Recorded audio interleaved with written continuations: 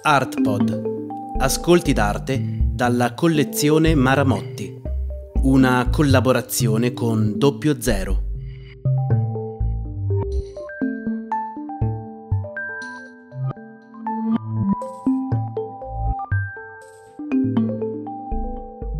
Osvaldo Licini. Amalassunta 1. 1949. Scritto di Gabriella Caramore.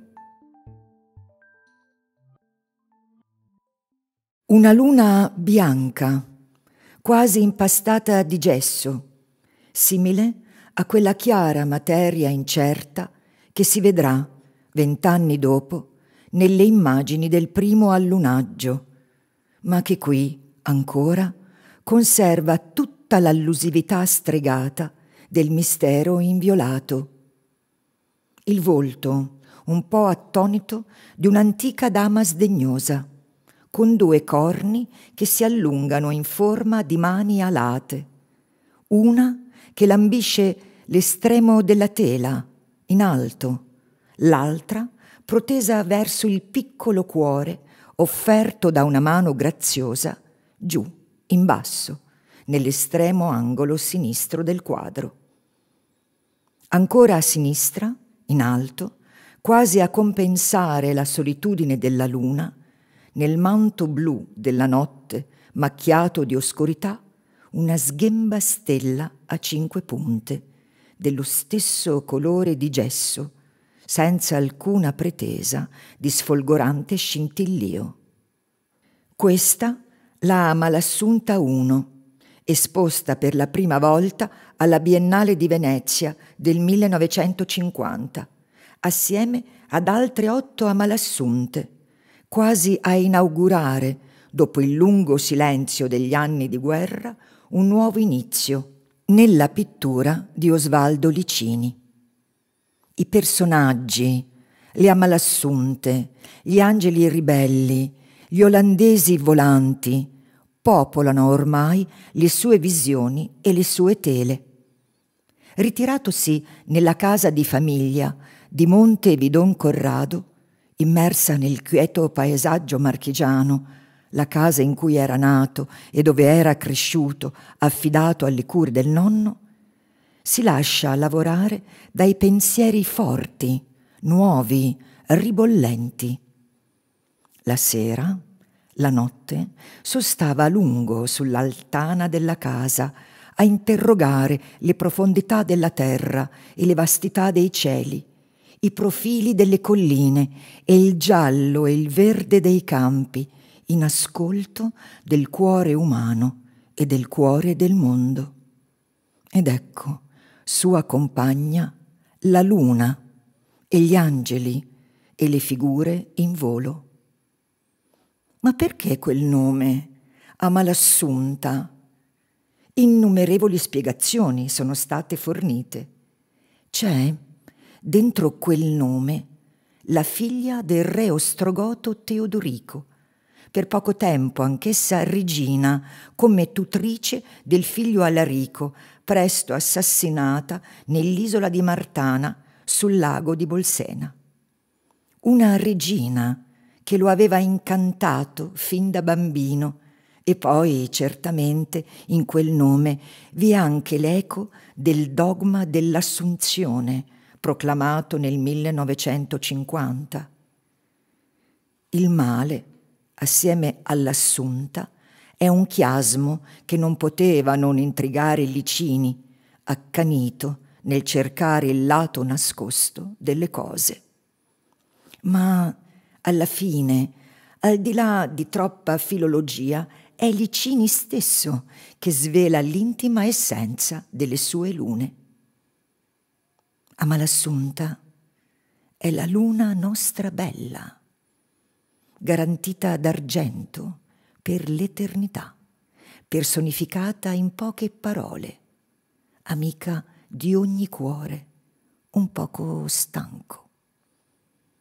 Poche le parole per dirla, l'argento che buca la soglia dell'eterno, chinandosi sul cuore di chi è un poco stanco Anche Leopardi, su cui Licini aveva in mente un grande lavoro, nella sua Recanati, non molto lontana da Monte Vidon Corrado, osservava la luna, dietro le stesse colline, a dar luce agli stessi paesaggi, talvolta confidente e amica, tal'altra distante e muta, o ancora beffarda giudice della terra.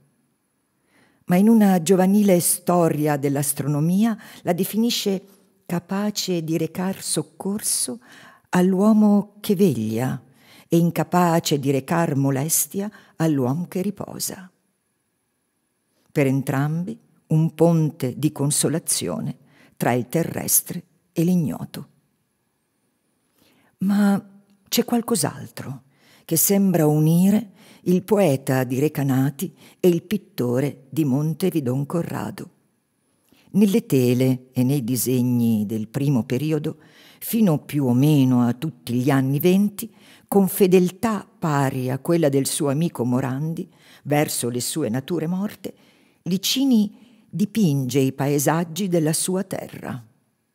Colline, villaggi, scorci di paese marchigiani, un albero, un borgo, una casa, come la siepe leopardiana, profili che separano il contingente e l'immenso.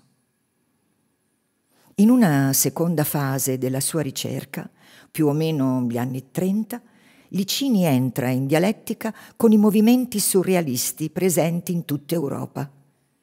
Affascinato e attratto da varie forme di astrattismo, comincia a dubitare, come lui stesso scrive ad un amico, che un'altra realtà si nasconda dietro quella visibile delle cose. Inizia così quello che lui stesso chiama un surrealismo personale, una svolta astratto-geometrica per cominciare a individuare il nesso tra il caos del soggetto e l'ordine dell'universo geometrie rigorose, colori definiti, linee che rimandano a un tentativo di definire l'origine e la fine. Poi il silenzio, negli anni della seconda guerra mondiale. Appassionato del mondo reale non meno che della raffigurazione pittorica, sarà per due mandati sindaco del suo paese, è scosso dalle vicende che percorrono l'Europa. Lui stesso aveva conosciuta l'insensata carneficina della Prima Guerra Mondiale, da cui era tornato ferito. In quel periodo decide di non mostrare, di non esporre e di non vendere per tutta la durata della guerra.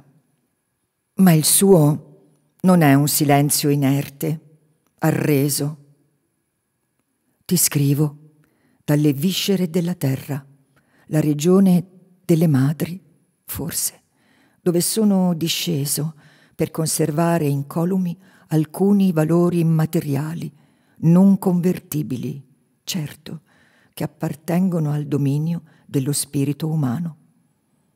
In questa profondità ancora verde, la landa dell'originario, forse, io cercherò di recuperare il segreto primitivo del nostro significato nel cosmo. Cessato il pericolo, riapparirò alla superficie con la diafanità sovraessenziale e senza ombra. Solo allora potrò mostrarti le mie prede, i segni rari che non hanno nome, alfabeti e scritture enigmatiche, rappresentazioni totemiche che solo tu, con la tua scienza, potrai decifrare. Così scrive il primo febbraio 1941 a Franco Ciliberti, fondatore del movimento primordialista, che sarà nuova fonte di ispirazione per Licini. Vivere, allora, andare al di là di noi stessi, trascendersi. Ecco perché ancora viviamo con questa speranza. Scrive nel 1943. Sicuro. Niente è finito. Tutto deve ricominciare. Dopo la dissoluzione, il rinnovamento per avvicinarsi alla verità occorre trasfigurare il mondo. Ecco allora le figure fantastiche, in volo nell'aria, sospese nel cielo, ecco le amalassunte. Questo astro spento e vivo al tempo stesso che appare sotto mille volti, mutevoli come mutevole è l'universo.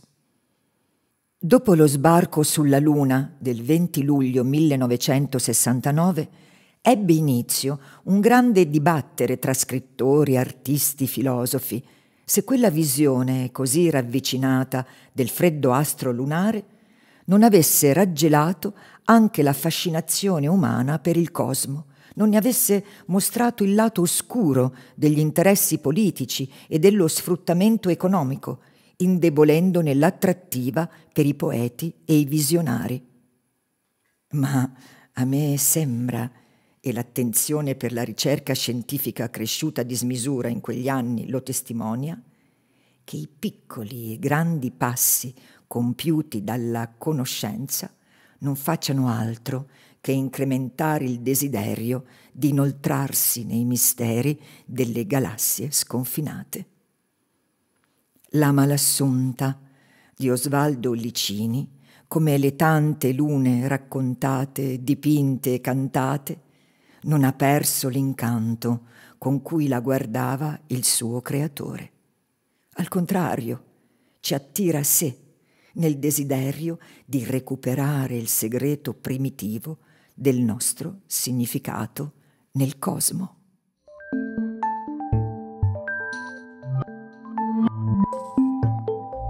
Un'iniziativa con il sostegno di Max Mara. La lettura è di Ermanna Montanari, del Teatro delle Albe.